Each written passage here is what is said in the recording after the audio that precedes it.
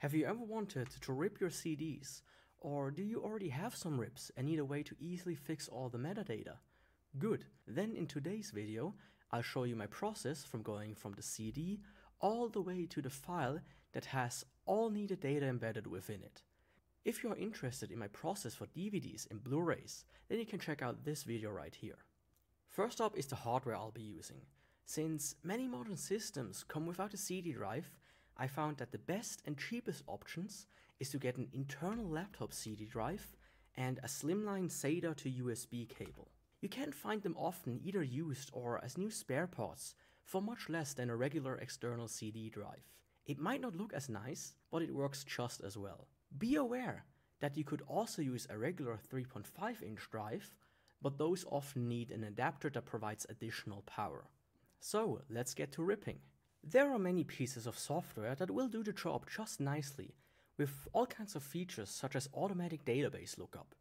To name just a few, on Mac there's iTunes, on Windows there's Windows Media Player, or Exact Audio Copy, and last on Linux there's Whipper or what I'll be using today, Asunder CD Ripper. Of course there exist many more, but naming them all would be a waste of time. So getting to Asunder, as soon as you put in the CD, it will start reading it and fetches some of the metadata from your database of choice. I've been using GnuDB and never had problems with it. I then under general set the folder where the ripped files will be and uncheck M3U playlist, since I don't use that feature. You can then also set the file names, but I left it on the default number-title scheme.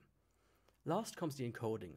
All you need to do here is check which files you want and its quality. Me personally, I only use FLAC at compression level 0. All that is left to do now is click on RIP and wait for it to finish.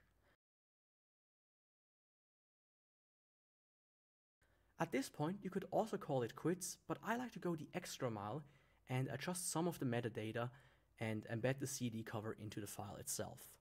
Why would I do that, you might now ask? Well, it's very simple. Some of the software fetches the CD cover online, and some see if there's a file named cover in the same folder, but this has never worked reliably for me. Embedding the cover into the file itself, however, has never caused me any trouble. And when it comes to metadata, there's a similar problem. Some players like Foobar2K have the tendencies to split albums by artists.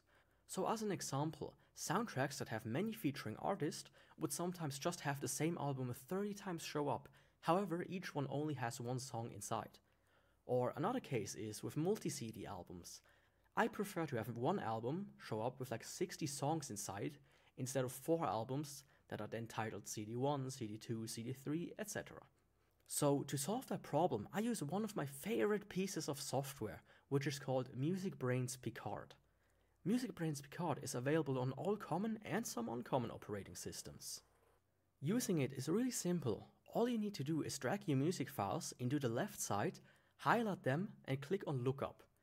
Next you can see that MusicBrainz Picard is slowly searching for the CD and is moving your songs from the left into the found CD on the right. Sometimes it can't populate all songs.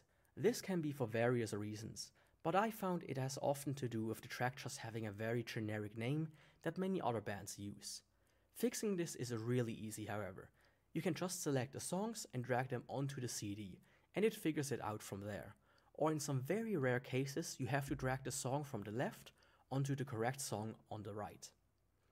At the bottom, you can now see all the old and all the new details. If you want to, you can change those details or even add a local cover. In this demonstration, I however just switch between the various versions that MusicBrainz has in their database and choose the one that I like the most. This can be very helpful for albums that have different bonus tracks based on regions where they were sold. Anyways, all you need to do now is select the CD on the right and hit save, and you can see how it pretty much immediately updated my files with all the information. I have never done it, but you could just drag in your entire library at once and have everything updated in one swoop.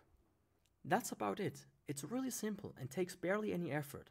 I always do this when I get a new CD or get some files from various places, like for an example Bandcamp. And with that, the only thing that's left is to subscribe.